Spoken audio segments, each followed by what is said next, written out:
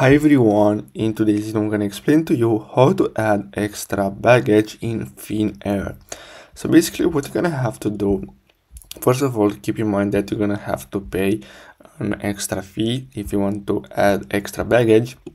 But what you're gonna have to do is simply go to Finnair and then simply click on manage and then you're gonna get redirected here and then what you're gonna have to do is simply enter the booking reference or e-ticket number and then the family name and then simply click on search and then you're gonna see your um, flight. And basically what you're gonna have to do next is simply select the option to add an extra baggage and then you're gonna have to simply pay the fee and basically that's all you have to do.